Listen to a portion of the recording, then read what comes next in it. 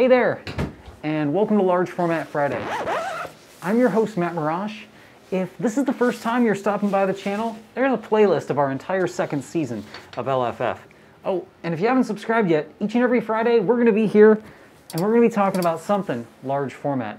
Today I'm back in the Midwest Photo Darkroom and I wanted to make some prints, but not just any prints. There was a project I started working on a long time ago. We're talking a decade ago, over 10 years ago, I started working on a large format project. It was my very first project and it was all about documenting and detailing all of these lovely little, very American small businesses, barbershops.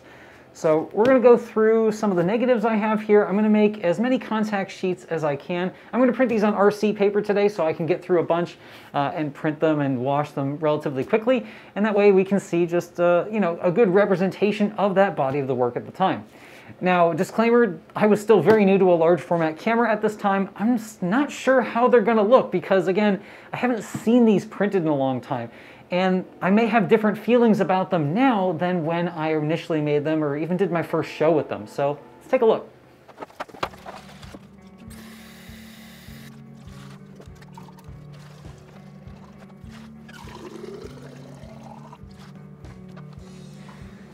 So we've got our chemical baths prepared. I've selected six negatives from the Barbershop series, which I think are pretty representative of some of my favorites and some fan favorites uh, from that body of work. If you haven't seen the Barbershop series, I'm gonna drop a link down below to my Flickr gallery of everything I did in the Barbershop series, as well as a link to the website, where uh, if you like what you see today, you're gonna be able to purchase some prints as well. I, I do sell prints. I'm a photographer first, and the YouTube stuff is really just to kind of share uh, what I do with you guys. So I've got those prepared. We're going to be using this Saunders. This is a diffusion type enlarger. I've used it before here on the channel. It's great because I can just dial in my grades, so my multi-grade, either for Kodak or Ilford, and it's variable contrast because we're using VC or variable contrast papers. Meaning if I don't use any color filtration, uh, it's going to be kind of somewhere flat in the middle. This way I can dial it in to get the exact uh, punch or amount of contrast that I need or don't need for the print. And we're going to get our little contact printing frame still taped over from the last time. This is just to give it a mask if I'm using a larger sheet of paper. The 8x10, it's really just a glorified piece of glass and foam that's gonna smush it down to the paper. So let's get the lights off and get printing.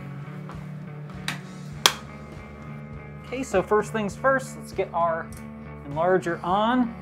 Make sure our framing looks good and get our focus into where we can see a nice sharp edge of our printing frame. We're not really focusing anything with this. Uh, we just need to make sure that the light is outside the confines of our printing frame, which it is. And then we're just gonna need to stop down our lens. At this level of brightness, at this preview amount, it is far too bright and it's going to expose my RC paper in like two seconds. That is, that's too short a time. The reason we have an f-stop on our lens isn't just for depth of field of the films we're working with, it's also so we can control our exposure time. We have our timer which controls our exposure time, our height, which controls our exposure time, the f-stop of our lens, which controls our exposure time, and also our printing filter, which will have an effect on the exposure time. So those are our four main variables. I'm gonna fix the height, hopefully fix the aperture, so all I have to worry about is my contrast filtration and my time. And I want that time to be preferably more than five seconds, closer to 10, so I have a little bit more consistency from print to print. I think F8 is going to be good. These negatives are uh, some early Pyrocat HD. I also have some negatives that were made with a contrastier staining developer, Obsidian Aqua. So I, I think F11 will force too long at times. I'm going to start with F8 and go wider open if I need to. So we'll start at F8 and we're just going to do a test strip of a negative and we'll go across 2, 4, 6, 8, 10 and see how it goes. Look at that, it just lays, lays right on the paper. Nice and easy like that. Bring up our frame, down like this. Now there is a bit of a gradient here. Uh, the lower half of the picture is a little bit darker. So in my test strip, I'm gonna go 2, 4, 6, 8, 10, because this is the brightest part of it. And yet another benefit of RC papers RC papers take less time in the developer, so I only have to have this in for 60 seconds. I'm gonna take my tongs, flip it around, and my prints should start coming up. All right, let's turn the lights up. Okay, and 10 seconds is looking like actually a, a, smidge on the light side, so we're gonna bump it up. We're gonna go, uh, let's start off with 12 seconds and see how the whole print looks. Hey, that's, uh, yeah, that's already pretty nice. Just a little bit of dodging needs to be done on our people in the shot, but yeah, we're uh, we're getting there a little bit. Let's see if we can see the difference between these two. I think I can already see it. Uh, let's turn the lights on just to be sure.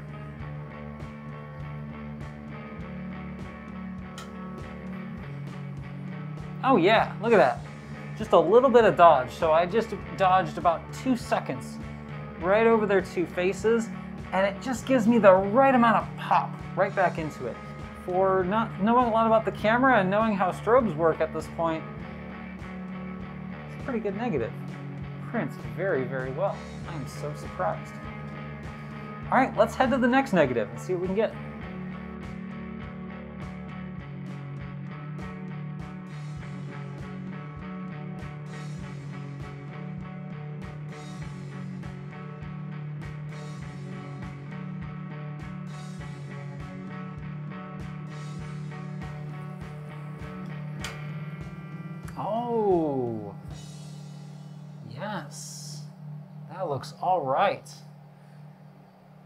Think I may actually just go not much longer. Let's try just to kind of get the same the same tone that we get from this print to this one. I think I'm just gonna go two more seconds and not really do anything.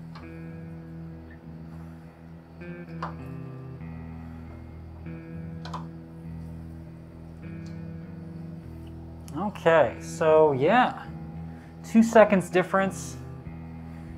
It's it's brought the overall mood down a little bit, which is what I was going for, uh, and really just gave me a, a just a smidge more separation in these darker values over here, and also brought a difference between the tiling and those bright fluorescent lights, which is perfect. That's that's kind of what I want.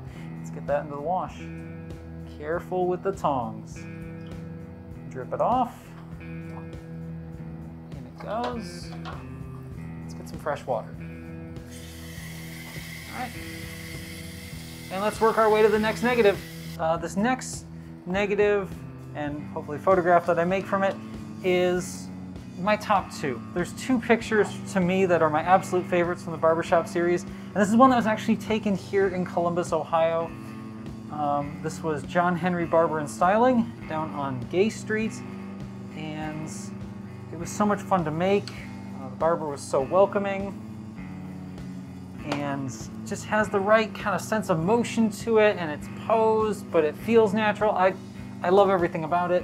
Uh, I know this one is a little more dense than the last negative I threw at it, so I'm gonna go ahead and hit it with 15 seconds straight up and see where we're at.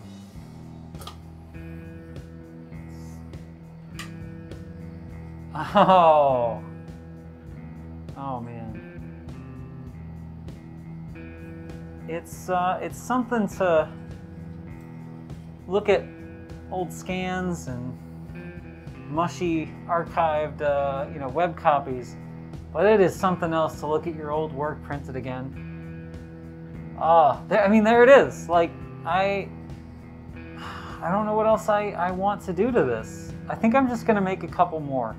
I might I might dodge John a little bit. I might get my little my little lollipop. This is just a piece of thin wire with uh, with some gaffer's tape, and this is to kind of dodge areas with you know this will be diffused and not show up, but this will kind of block light from certain areas. But man, yes, that is all right. I'm just gonna make a couple more.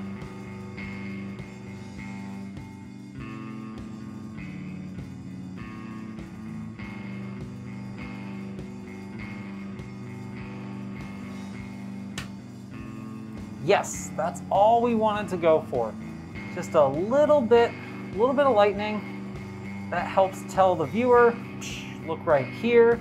keeping these corners a little bit dark. That's, that's all we wanted to do.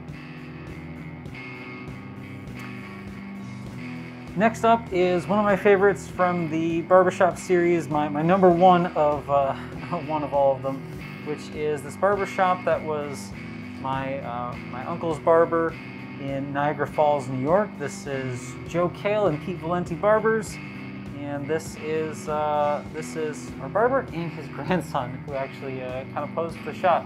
It ended up uh, not the way I wanted it to, but it just had its way of uh, really sticking with me over time. There's some things that are common uh, Mat Marrash flaws in the photo. I cut off his foot. I'm showing up in the reflection, but even with that, it's a negative I love, and hopefully you'll see in the print why that is. Oh, there it is.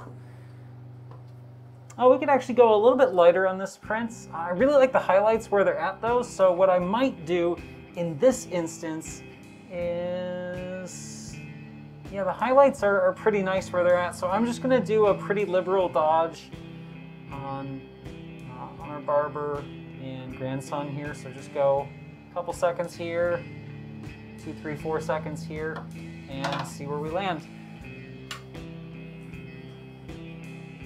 All we needed, just a little bit of dodge. Yeah, and when you keep the dodge moving and you don't hold it in one place, it feathers it a little bit. So lift it up from the paper and keep it moving. That's one of the biggest things you can do when you're dodging and burning. Just keep the motion. Are we doing this? We got four prints in not too long. Let's see if we can't tackle those last two. Uh, now, these two, these last two negatives are going to be the hardest to do. Uh, this negative is quite a bit thicker than any of the other ones I've done before, so I'm going to immediately jump my contrast lower. I already have a higher contrast negative, so I'm going to use a lower print grade to help with it. I have been printing everything at a straight 2 so far, this negative, I am going to move it down, or sorry, move it up to a one and a half and start at 15, 16 seconds, see where that gets me. And then this last negative is a little bit thinner. I'm more than likely gonna need to increase my contrast grade because I have a thinner negative. So let's go.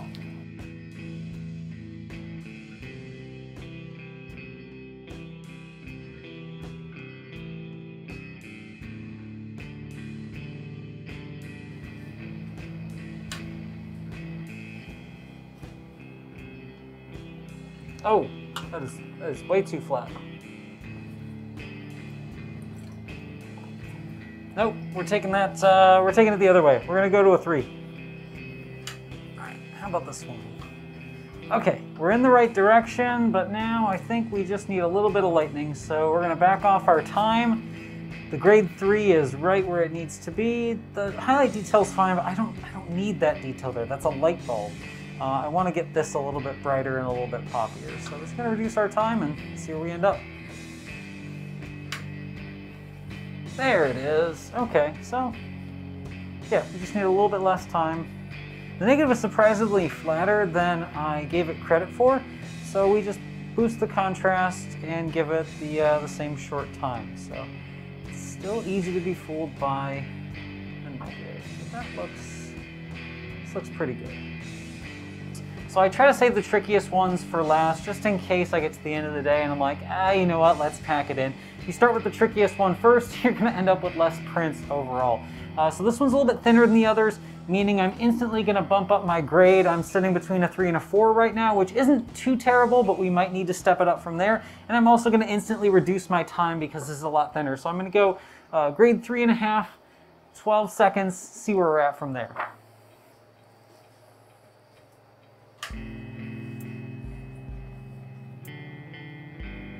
I'm not quite there. I'm, losing the shadow a bit. And, and I know there's information in these highlights. This might have to be, uh-huh. Well, it's a good thing we saved this, uh, this one for last. Uh, we're gonna do a split grade on this one. Split grade printing for me is a bit of a last resort technique. It is the result of I have an inadequate negative or I just have a really, really crazy high contrast situation going on in a negative. In the case of this one, this was a very early on negative. I forgot to compensate for bellows extension factor, and I ended up with a very, very crispy highlight up here in the corner and a lot of shadow detail that just falls flat if I try to print for this. So a split grade print goes as follows. I'm using two grades of light, typically a very, very low contrast like a zero or a double zero, and a very, very high contrast like a four or a five. This involves finding an amount of time I need for my lower contrast value to start printing down highlights. So that means how, what's the minimum amount of time I can hit this with a grade zero or double zero so that these brighter highlights start showing up in the print. I need to find that time. Then I also need to find what my grade 5 time is. So what's the amount of time I need to get crispy, nice dark blacks uh, in the shadows with a grade 5? Because if I print with a straight grade 5, I'm going to get black and a lot of white and no in between. And when I print with a double zero, I'm going to get a lot of flat gray. Uh, but the important part here is that I get just enough gray out of the highlight value and just enough deep black out of the shadows that it looks kind of normalized when we're all said and done. So this is our split grade. It's not perfect, but this is really, really close to the scan already, minus the extra burning I would need to do into this area. But let's take a look at it. Those are some test strips. Those are the split grade test strips. But let's take a look at this versus the straight print. So that's a number four grade straight print, and you can see the highlights are like nowhere to be found, and the shadows just go a little bit more empty than I want them to here. So it allows me to kind of open up. So split grade printing is very similar to what we're doing in Photoshop and Lightroom when we start changing that histogram. We shift the shadows up, we shift the highlights down, so we're kind of bringing that print back into the printable range because the negative uh, is, is sitting at two extremes, very, very, very thin shadows and very, very, very crisp highlights up here. We're just bringing those back into range. Okay, so I did do something else with the prints. I backed off on my grade 5 time by a whole second, and you can see what happened. I ended up just getting a little bit flatter. You can go too deep on this, and it's very possible to start analyzing and overanalyzing, and at some point you have to say enough is enough, take a break, take a step back, call it a day. In this case, this is my last sheet of paper, so I have to call it a day. So at this point, I'm gonna stop where I'm at. I'm gonna stop while I'm ahead. I'm gonna get these rinsed off through the dryer and we'll, uh, we'll wrap up. That about does it for today. I had 15 sheets left of a 25 sheet box of uh, RC glossy paper. Took six of my favorite negatives from my barbershop series that started over a decade ago, made some contact prints and shared the process with you guys. One thing about wintertime that I think uh, kind of gets a lot of photographers down as, oh, I can't go out and shoot. It's even harder to get outside when it's cold and snowy. Uh, there's a lot of snow going on right here in Ohio, so taking time to go back through the backlog, taking stock of the work you have, or maybe some things that you needed to catch up on, some scanning, contact prints, finishing the website. These are all things that we can do to keep ourselves busy even in the, you know, quote unquote off season. I don't think there's a bad time for large format, but some are more favorable than others. If you have any questions about the darkroom printing process or large format photography, you can always feel free to drop one down below in the comments. And if you have any of those long form questions, you can always feel free to shoot me an email, largeformatquestions at gmail.com. Thanks again for stopping by, and we'll catch you next week for more LFF.